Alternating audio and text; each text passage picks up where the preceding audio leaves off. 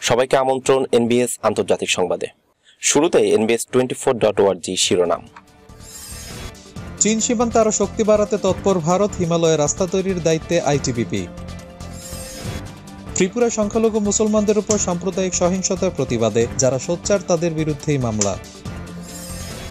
সন্ত্রাসবাদের জন্য অর্থ সংগ্রহ প্রমাণ হয়নি হাফিজের নিষিদ্ধ জঙ্গি সংগঠনের ছয় সদস্যকে মুক্তি। অমুসলিমদের অধিকার নিশ্চিতে নতুন আইন প্রণয়ন করল আমিরাত। লিবিয়ার তারহুনায় পাওয়া গেল আরও তিনটি গণকবর। সুদানে গণতন্ত্রপন্থী শিক্ষকদের বিক্ষোভে কাঁদানে গ্যাস।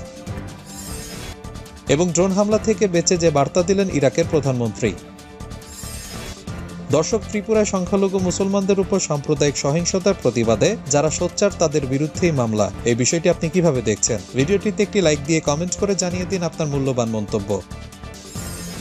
দর্শক এতক্ষণ শুনছিলেন শিরোনাম এবার বিস্তারিত। বিস্তারিত খবর পড়ছি আমি ফজলে রাব্বি। চীন সীমান্তে আরও শক্তি বাড়াতে তৎপর ভারত হিমালয়ে রাস্তা তৈরির দায়িত্বে আইটিবিপি।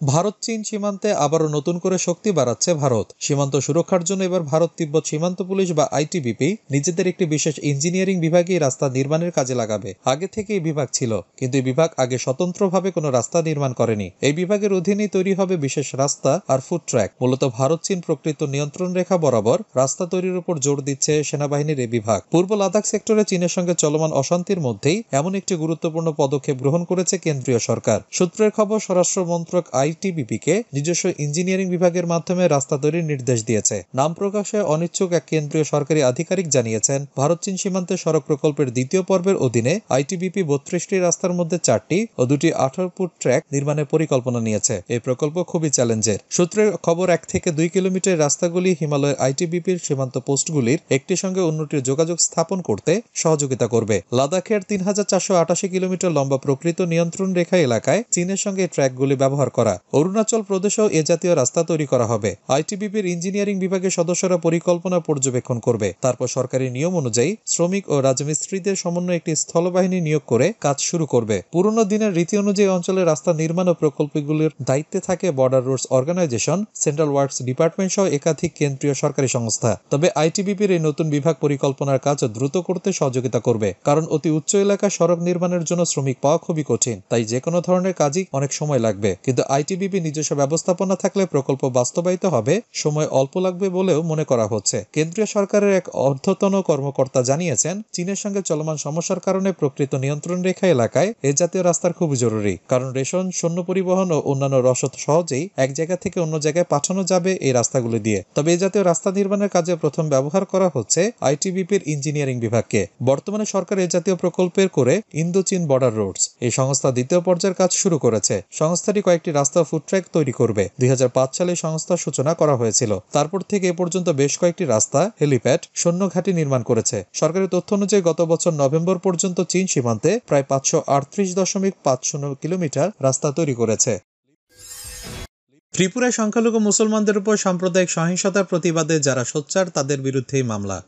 ত্রিপুরায় সংখ্যালঘু মুসলমানদের উপর সাম্প্রতিক সহিংসতা নিয়ে যারা সামাজিক যোগাযোগ মাধ্যমে সোচ্চার হয়েছেন, তাদের বিরুদ্ধে মামলা দিয়েছে বিজেপি শাসিত এই রাজ্যের পুলিশ। এসব ব্যক্তির বিরুদ্ধে সন্ত্রাস দমন আইন Unlawful Activities Prevention Act UAPA মামলা দেওয়া হয়েছে। সামাজিক মাধ্যম টুইটারে একশো দুইটি অ্যাকাউন্টধারীর বিরুদ্ধে এসব মামলা করা হয়েছে। ত্রিপুরা পুলিশের জনসংযোগ আধিকারিক জ্যোতিষ্মান দাস চৌধুরী বলেছেন, এসব অ্যাকাউন্ট যাদের তাদের খুঁজে বের করার চেষ্টা চলছে। এই অ্যাকাউন্টগুলো থেকে সহিংসতায় মদত দেওয়া হয়েছে বলে পুলিশের অভিযোগ। গত অক্টোবরের মাঝামাঝি থেকে এক সপ্তাহ ধরে চলা সহিংসতায় বহু মানুষ তাদের ঘরবাড়ি হারিয়েছেন, বেশ কিছু মসজিদে হামলা চালানো হয়েছে। ইউএপিতে যাদের বিরুদ্ধে মামলা করা হয়েছে, তাদের একজন সাংবাদিক, শ্যাম মীরা সিং। তিনি প্রথম আলোকে বলেন, মাত্র তিনটি শব্দ ত্রিপুরায় আগুন জ্বলছে। লেখার জন্য বিজেপি শাসিত ত্রিপুরা সরকার আমার বিরুদ্ধে ইউএপিতে মামলা করেছে। সুবিচারের জন্য সবসময় কথা বলব। দেশের প্রধানমন্ত্রী কাপুরুষ হলেও সাংবাদিকরা নন। শ্যাম সিং ছাড়াও বিভিন্ন পেশার বেশ কিছু ব্যক্তি, সাংবাদিক ও শিক্ষার্থীর বিরুদ্ধেও বিশেষ সন্ত্রাস দমন আইনে মামলা করা হয়েছে। মানবাধিকার সংগঠনের পক্ষে ত্রিপুরা সহিংসতা নিয়ে তদন্ত করে প্রতিবেদন প্রকাশ করেছেন এমন দুইজন আইনজীবীর বিরুদ্ধেও ইউএপিতে মামলা দেওয়া হয়েছে। এরা হলেন আনসার ইন্টরি ও মুকেশ কুমার নামে দিল্লির দুই আইনজীবী। মানবাধিকার সংগঠনগুলো বলছে ত্রিপুলায় বেছে বেছে তাদেরই গ্রেপ্তার করা হচ্ছে যারা সহিংসতার বিরুদ্ধে সরব হয়েছেন এবং বিজেপি শাসনাধীন ত্রিপুরা সরকারকে দোষারোপ করেছেন। অথচ যারা সক্রিয়ভাবে সহিংসতায় অংশ নিয়েছে, তাদের ধরা হচ্ছে না বলে মানবাধিকার সংগঠন সাংবাদিক ও আইনজীবীদের একাংশ জানিয়েছেন।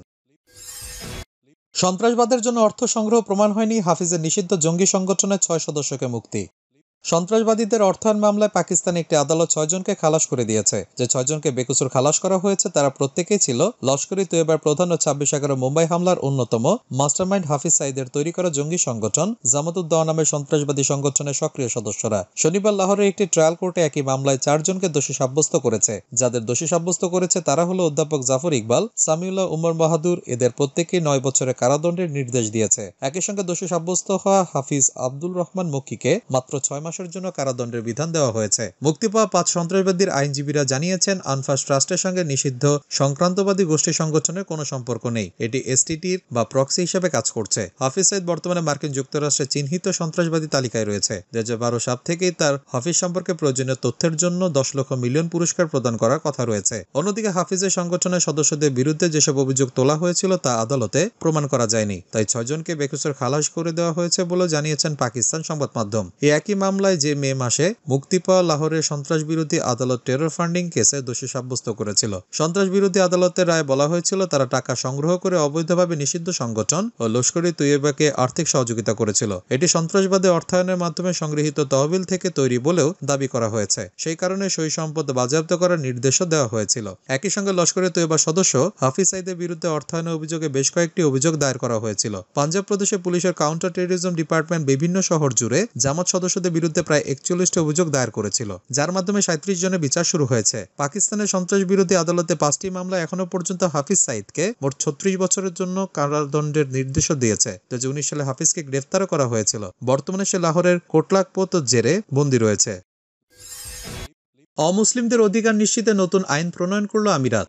আরব আমিরাতের president Sheikh Khalifa bin Zayed Al Nahyan আবুধাবিতে অমুসলিমদের ব্যক্তিগত অবস্থার বিষয়গুলোকে নিয়ন্ত্রণ করার জন্য একটি নমনীয় এবং উন্নত বিচার ব্যবস্থা প্রদানে সক্ষম একটি আইন জারি করেছেন। বিশ্বে প্রথম বলে বিবেচিত আইনটি মেধা দক্ষতার জন্য সবচেয়ে আকর্ষণীয় গন্তব্য হিসেবে আমিরাতের অবস্থান সুদৃঢ় করবে এবং বৈশ্বিক প্রতিযোগিতায় সক্ষমতা বাড়াবে। এটি আন্তর্জাতিক অনুশীলনের সঙ্গে সামঞ্জস্য রেখে অমুসলিম পারিবারিক বিষয়গুলো পরিচালনাকারী প্রথম নাগরিক আইন। এটি একটি আন্তর্জাতিকভাবে স্বীকৃত আইনের অধীনে অমুসলিমদের অধিকারের নিশ্চয়তা দেবে যা তাদের সংস্কৃতি, রীতিনীতি এবং ভাষার ক্ষেত্রে পরিচিত।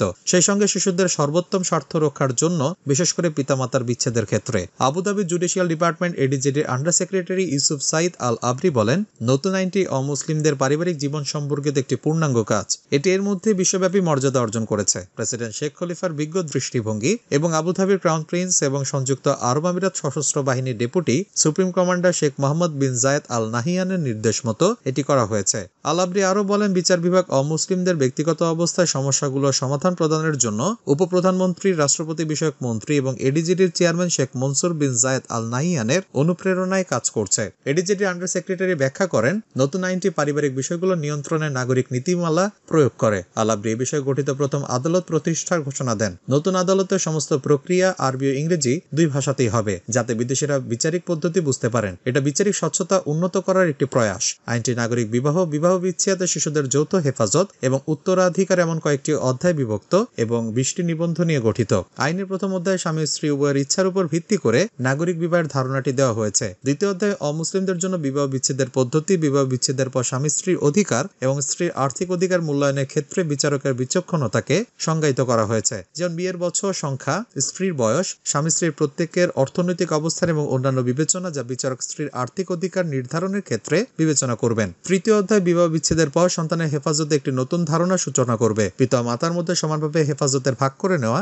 যা পশ্চিমা দেশে যৌথ হেফাজত নামে পরিচিত। এটা করা হবে মূলত বিবাহ বিচ্ছেদের পরে পরিবারের সংহতি রক্ষার জন্য, সেই সঙ্গে শিশুদের মনস্তাত্ত্বিক স্বাস্থ্য সংরক্ষণের জন্য। চতুর্থ অধ্যায়ে উত্তরাধিকার সংক্রান্ত সমস্যা, অমুসলিমদের জন্য উইলের রেজিস্ট্রেশন এবং একজন বিদেশের উইল তৈরির অধিকার নিয়ে আলোচনা করা হয়েছে। আর আইনের পঞ্চম অধ্যায় অমুসলিম বিদেশিদের জন্য পিতৃত্বের প্রমাণ বিষয়ক। লিবিয়ার তারহুনায় পাওয়া গেল আরও তিনটি গণকবর। লিবিয়ার রাজধানী ত্রিপোলের দক্ষিণে অবস্থিত তারহুনা শহরে তিনটি গণকবর পাওয়া গেছে। সম্প্রতি লিবিয়ার এই শহরটিকে দেশটির যুদ্ধবাচ্ছা নেতা খলিফা হাফতারের মিলিশিয়া বাহিনীর কাছ থেকে মুক্ত করা হয়েছে। রোববার লিবিয়ান কর্তৃপক্ষ এসব তথ্য জানিয়েছে। নিখোঁজ ব্যক্তিদের সন্ধান ও চিহ্নিত করার বিষয়ে কাজ করা লিবিয়ান কর্তৃপক্ষ জানিয়েছে তাদের একটি দল তিনটি গণকবরের অবস্থান শনাক্ত করতে পেরেছে। এই গণকবরগুলো তারহুনা শহরের আবদালি হাইওয়ের কাছে অবস্থিত। লিবিয়ান কর্তৃপক্ষ আরও বলেছে, সোমবার তারা গণকবরের লাশগুলো মাটি খুঁড়ে বের করা শুরু করেছে। এছাড়া আর কোনো তথ্য প্রকাশ করা হয়নি। গত বছরের জুন মাস থেকে লিবিয়ান কর্তৃপক্ষ তারহুনা শহরে দিরাশিটি গণকবর পেয়েছেন। এসব গণকবর থেকে দুইশোটি লাশ মাটি খুঁড়ে বের করা হয়েছে। এ তারহুনা শহরটি ছিল লিবিয়ার বিদ্রোহী নেতা খলিফা হাফতার শক্ত ঘাঁটি। গত বছরের যুদ্ধবাচ্চা নেতার যোদ্ধাদের ত্রিপুলি থেকে তাড়িয়ে দিয়েছিল লিবিয়া সরকার। এ বিষয়ে লিবিয়া সরকারি সূত্রগুলো বলছে, দুই সালে এপ্রিল থেকে দুই সালে জুন পর্যন্ত যুদ্ধবাচ্চা নেতা খলিফা হাফতারের সেনাবাহিনী ও তাদের সাথে সংশ্লিষ্ট মিলিশিয়ারা বিভিন্ন যুদ্ধাপরাধ ও গণহত্যার মতো কর্মকাণ্ড চালিয়েছে। দুই হাজার এগারো সালে লিবিয়ার শাসক মোয়াম্মার গাদ্দাফিকে ক্ষমতাচ্যুত করার পর দেশটি গৃহযুদ্ধে বিপর্যস্ত হয়ে গেছে। এরপর এবছরের পাঁচই ফেব্রুয়ারি বিভিন্ন প্রতিদ্বন্দ্বী রাজনৈতিক সংগঠনগুলো লিবিয়ার একটি অন্তর্বর্তীকালীন সরকার গঠনে রাজি হয়। লিবিয়ার অন্তর্বর্তীকালীন জোট সরকার ডিসেম্বরের নির্বাচন পর্যন্ত দেশটিকে নেতৃত্ব দিবে। বর্তমানে জোট সরকারের নেতৃত্ব দিচ্ছেন আব্দুল হামিদ দেবিদে। সুদানে গণতন্ত্রপন্থী শিক্ষকদের বিক্ষোভে কাঁদানে গ্যাস। সুদানের রাজধানী খার্তুমে গণতন্ত্রপন্থী বিক্ষোভে অংশ নেওয়া কয়েক ডজন শিক্ষককে লক্ষ্য করে কাদানে গ্যাস নিক্ষেপ করেছে দেশটির নিরাপত্তা বাহিনী। এদের অনেকে নিরাপত্তা বাহিনীর হাতে আটক হয়েছে বলে জানা গেছে। রবিবার সাতই নভেম্বর এসব জানিয়েছে ব্রিটিশ গণমাধ্যম বিবিসি। প্রতিবেদনে বলা হয়, খার্তুমে শিক্ষা মন্ত্রণালয়ের বাইরে কয়েক ডজন শিক্ষক সামরিক সরকার চাই না, বেসামরিক প্রতিনিধিদের হাতে ক্ষমতার হস্তান্তর চাই, লেখা ব্যানার নিয়ে সমাবেশ করেন। দেশটির বেসামরিক প্রধানমন্ত্রী আবদুল্লাহ হামজক গৃহবন্দী হয়েছেন এবং ক্ষমতা দখলকারীদের সহযোগিতা করার জন্য সেনাবাহিনীর চাপের সম্মুখীন হয়েছেন। গত মাসে অভ্যুত্থানের নেতা general Abdel Fattah al Burhan সরকারের ক্ষমতা ভাগাভাগির চুক্তির বেসামরিক অংশ ভেঙে দিয়েছেন। তিনি ক্ষমতা দখলের পর বেসামরিক নেতাদের গ্রেফতার করেছেন এবং জরুরি অবস্থা ঘোষণা করেছেন। ড্রোন হামলা থেকে বেঁচে যে বার্তা দিলেন ইরাকের প্রধানমন্ত্রী। ইরাকি প্রধানমন্ত্রী মোস্তফা আল কাদিমির বাসভবনে ড্রোন হামলার মাধ্যমে তাকে হত্যার চেষ্টা করা হয়েছে। হামলার পরে কাদিমি বলেছেন তিনি অক্ষত রয়েছেন এবং সকলকে শান্তি ও সংযম বজায় রাখার আহ্বান জানিয়েছে। হামলার পর এক টুইটারে দেওয়া এক বার্তায় মোস্তফা আল কাদিমি ইরাকের স্বার্থে সবার প্রতি এ আহ্বান জানান। খবর বিবিসি রয়টার্সের ইরাকের প্রধানমন্ত্রী কার্যালয়ের কর্মকর্তাদের বরাদ দিয়ে বিবিসি জানিয়েছে, বিস্ফোরক বহনকারী ড্রোন দিয়ে হামলার মাধ্যমে তাকে হত্যার চেষ্টা করা হয়। হামলার পর অক্ষত আছেন বলেই নিজেই জানিয়েছেন মোস্তফা আল কাদিমি তবে ড্রোন হামলার পর ইরাকি প্রধানমন্ত্রীকে হাসপাতালে নেওয়া হয়েছে। বাগদাদের ওই গ্রিন জোনে বহু সংখ্যক সরকারি দফতর এবং বিদেশি দূতাবাস অবস্থিত। এমন সুরক্ষিত এলাকায় ইরাকি প্রধানমন্ত্রীর বাসভবনে ড্রোন হামলার দায় এখনও কেউ স্বীকার করেনি। হামলার ঘটনায় নিন্দা জানিয়েছে যুক্তরাষ্ট্র। উল্লেখ্য, গত বছরে মে মাসে ইরাকের প্রধানমন্ত্রী হিসেবে দায়িত্ব নেন মুস্তফা আল কাদিমি এর আগে তিনি দেশটির সাবেক গোয়েন্দা প্রধান হিসেবে দায়িত্ব পালন করেন। দর্শক, এই ছিল এখনকার মতো। আমাদের পরবর্তী সংবাদ দেখার আমন্ত্রণ জানিয়ে বিদায় নিচ্ছি আমি শফিউল আলম আরাফ।